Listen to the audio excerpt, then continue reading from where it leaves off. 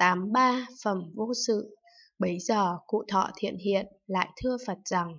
Bạch Đức Thế Tôn nếu tất cả Pháp đều lấy vô tánh làm tự tánh, như thế vô tánh chẳng phải chư Phật làm, chẳng phải độc giác làm, chẳng phải Bồ Tát làm, chẳng phải Thanh Văn làm, cũng chẳng phải những kẻ trụ quả hành hướng làm. Vì sao bày ra các Pháp có khác, rằng đây là địa ngục, đây là bảng xanh, đây là cõi quỷ, đây là người, đây là trời tứ đại vương chúng, cho đến trời tha hóa tự tại, đây là trời phạm chúng cho đến trời sắc cứu cánh,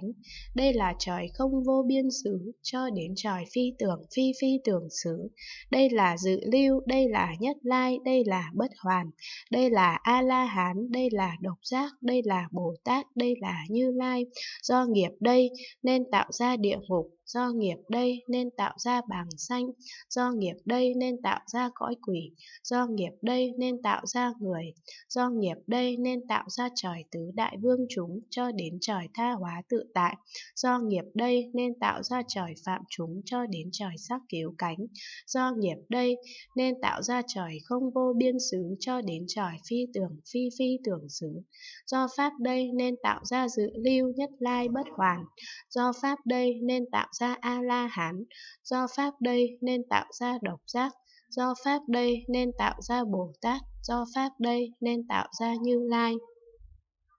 Bạch Đức Thế Tôn, Pháp vô tánh nhất định không có tác dụng, sao có thể nói do nghiệp như thế, nên sanh bảng sanh, do nghiệp như thế nên sanh cõi quỷ, do nghiệp như thế nên sanh trong loài người,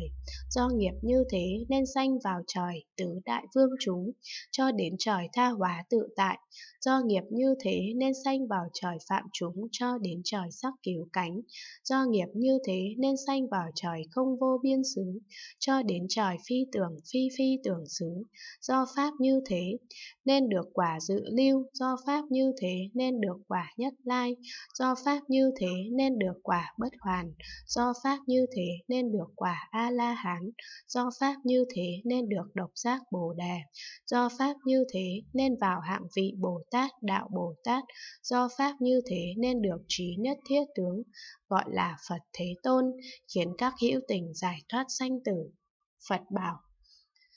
này thiện hiện, đúng vậy, đúng vậy, đúng như ông đã nói, trong Pháp vô tánh chẳng thể tạo ra các Pháp có khác nhau, không nghiệp, không quả, cũng không tác dụng. Nhưng những người ngu chẳng rõ thánh Pháp và tỷ nại ra,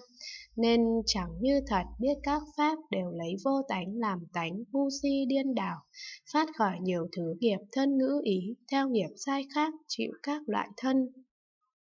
dựa vào phẩm loại sai khác của thân như thế mà có địa ngục, bảng xanh, cõi quỷ, hoặc người hoặc trời cho đến trời phi tưởng, phi phi tưởng xứ. Vì muốn cứu vớt những người ngu như thế, ngu si điên đảo chịu khổ sanh tử, nên bày ra phần vị thánh pháp và tỷ nại ra sai khác, nương vào phần vị đây mà có dự lưu cho đến độc giác Bồ Tát Như Lai, nhưng tất cả pháp đều lấy vô tánh làm tự tánh. Trong pháp vô tánh, thật không có pháp khác, không nghiệp, không quả, cũng không tác dụng, pháp vô tánh, thường vô tánh vậy. Lại nữa, thiện hiện như ông đã nói, Pháp vô tánh nhất định không có tác dụng, sao có thể nói, do Pháp như thế,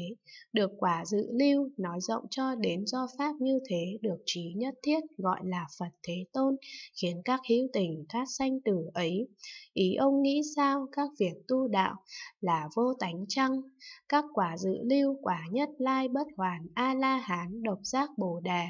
và đạo Bồ Tát trí nhất thiết tướng là vô tánh chăng, thiện hiện thưa rằng.